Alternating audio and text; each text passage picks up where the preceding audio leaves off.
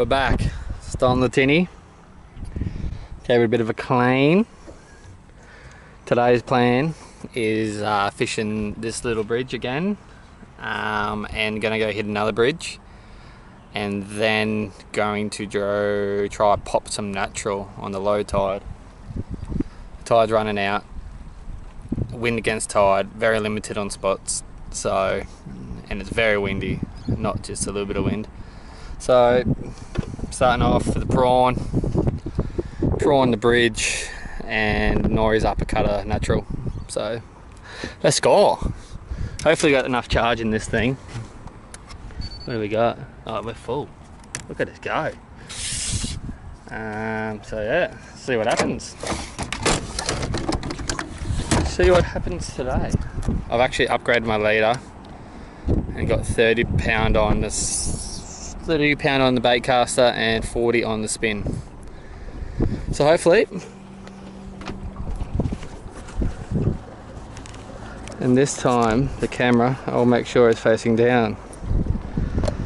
Sorry about that last time. Definitely due for some new rods.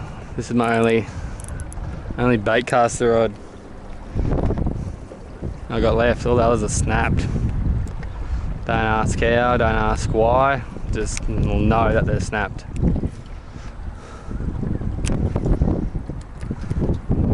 So same. Gonna chuck one up this side, two up this side, swap sides, chuck up, then slowly creep up and do the same this side.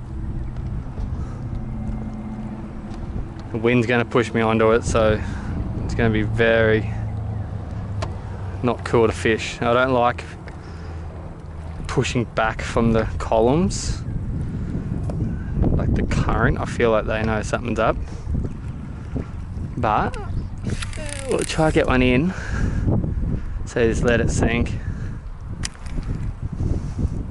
till it hits the bottom.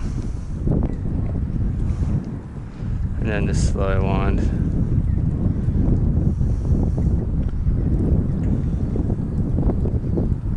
Let it sink and hit the bottom.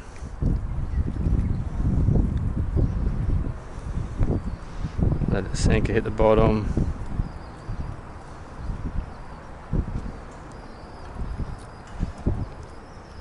Sink, hit the bottom. I like fishing this stuff really, really slow. Well, that's nearly the whole thing. What you don't want to do is hook up there. You know, a little bit of trouble if you hook up there. So what I'm doing, I got the boat positioned fairly out. So if I need to, I can just go boom, and you get that sort of 30 degree, 25 degree angle, which is a lot better than being parallel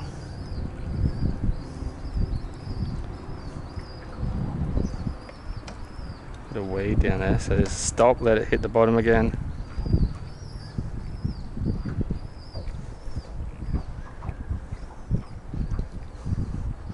very bad positioning off the electric which is not recommended at all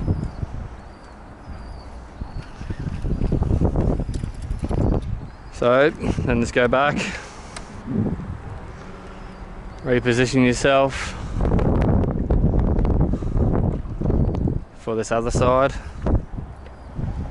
So as I say, I like to sit out a little bit, um, just just enough so you can actually run your rod, your line. That's very bad. It's gonna be a mission this. I'm actually gonna reposition myself so I'm facing the other way. So then if I do drift in, I don't hit the column.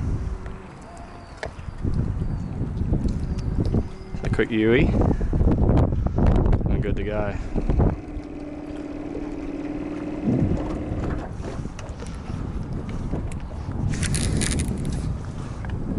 Was shocking as well.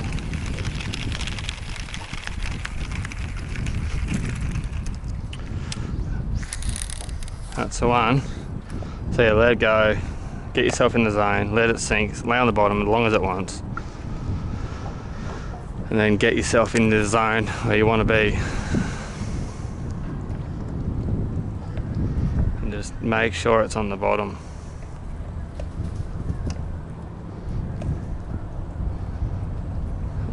Slowly wind.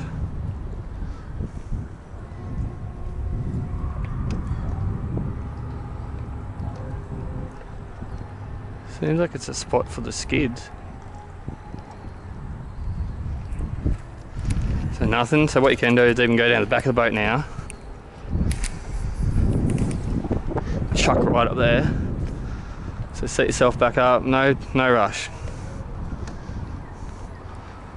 And then, so you can wait 10 minutes if you wanted to, until you're happy on the position.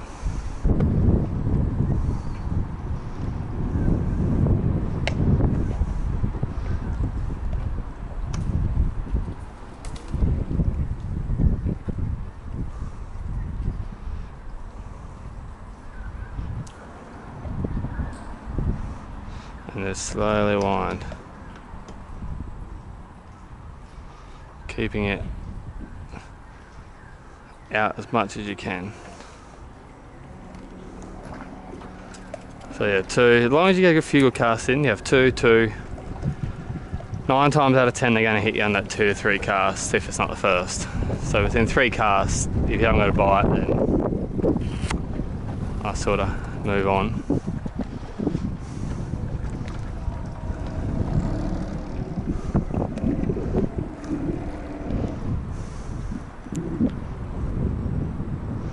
Same as here, get yourself in position. You want to chuck about that foot off. I like a foot off. Any further than that out, no luck. Any closer, you're in for a hell of a ride. I always tend to point my electric out.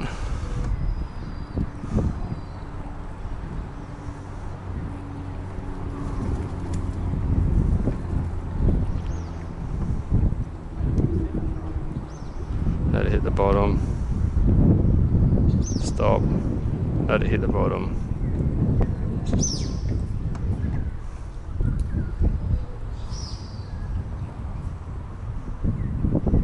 Nothing. Go again. Oh, that's behind the column.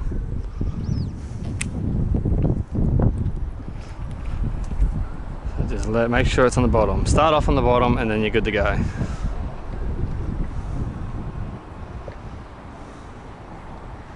In a bit of a position here because the boat's going to try to push onto the column.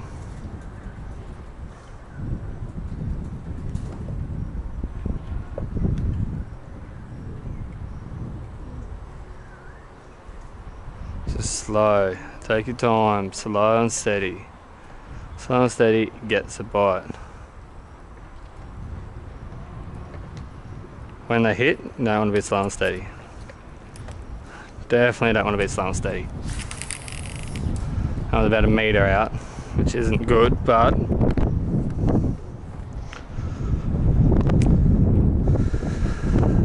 now I've got the wind on my ass, which I don't like.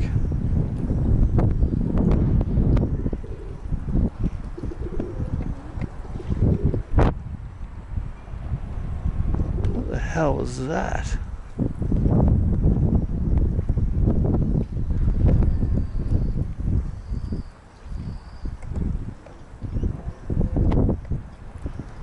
Okay, oh, that was a hit. Oh, and again. Might have been Little Jack, Bream, who knows. But, let's see if we can get it this one. Yeah, I'm always in free spool.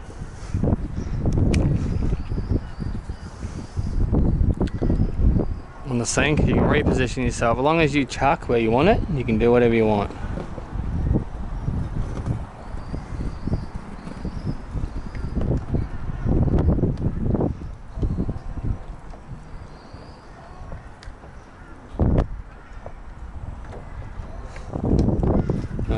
So now what I'm going to do is go on the other side and fish the other side up and then I'll continue on.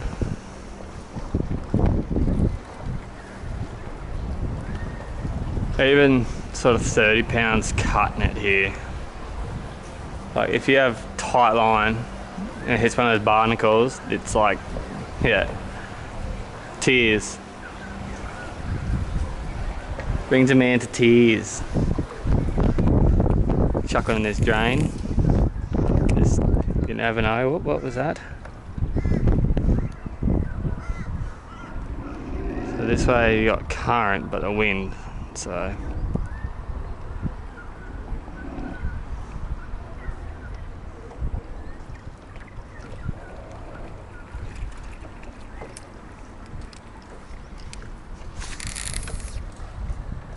Knock it out a bit. You got current pushing us that way, wind this way, not good. So we're on the bottom. So I'm out two two meters out. I'm about off the column. So you want to try to give yourself as much advantage as possible to try get them out. If they hit you. If being the key word. It also gives you that good angle to actually chuck in rather than along. That's the biggest benefit from it.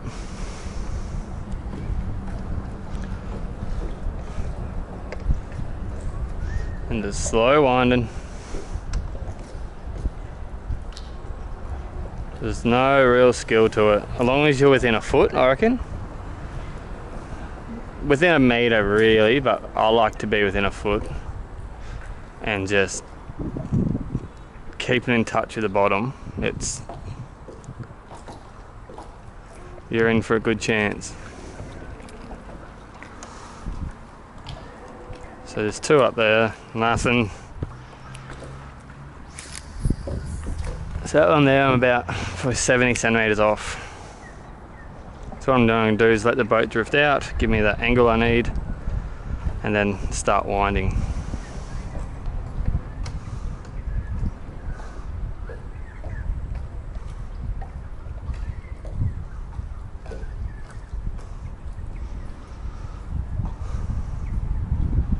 It goes from zero to 100 really quick doing this. Øh, really quick.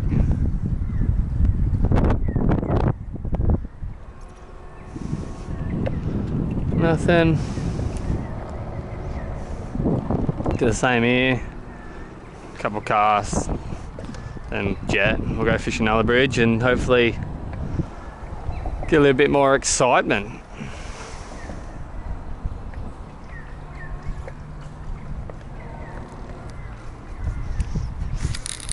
So that angle, you're you're chucking actually at it. Which if you come parallel with it and chuck, it's so hard. That's the biggest probably tip I can give you with fishing bridges is sit out, chuck in, and then continue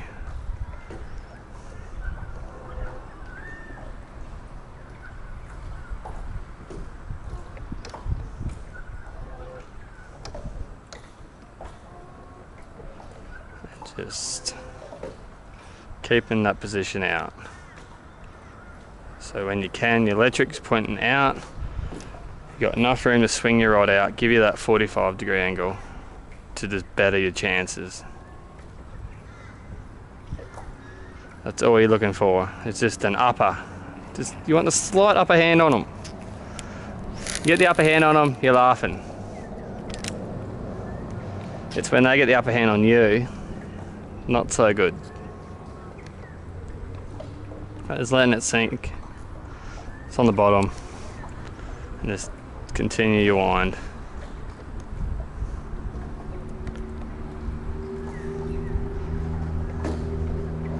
So if you can remember, it's a bit to do, but if you can remember, always fix your electric to out of the structure.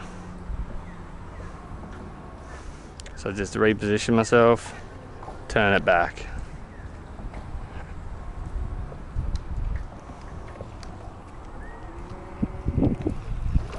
Just just little things that many crumbs make a loaf of bread. So if you get gain just little bits, little bits, little bits, little bits, and that each little bit better's your chance of being able to pull them out.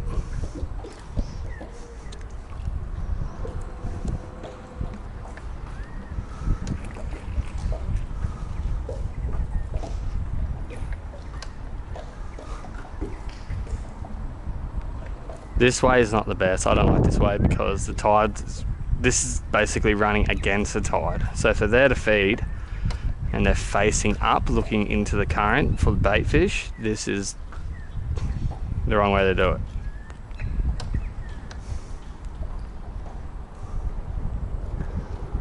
But pretty safe to say there's not one here. So let's do the odd, odd one on the rock wall, then we'll jet.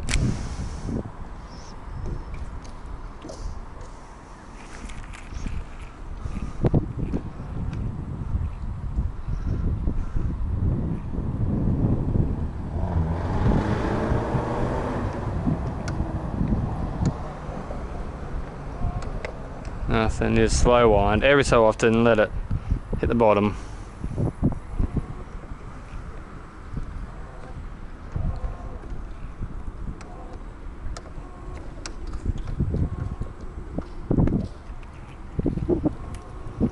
Exactly like that. So what we'll do is we'll make the move